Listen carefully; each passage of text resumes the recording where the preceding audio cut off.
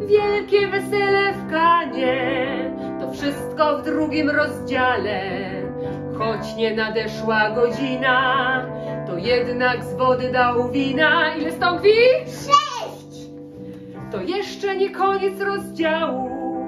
W Jerozolimie się działo. Żadna tam pascha spokojna. W świątyni Jezus dał ognia. Rozgonił tam targowisko. Wekslarze zmykali szybko.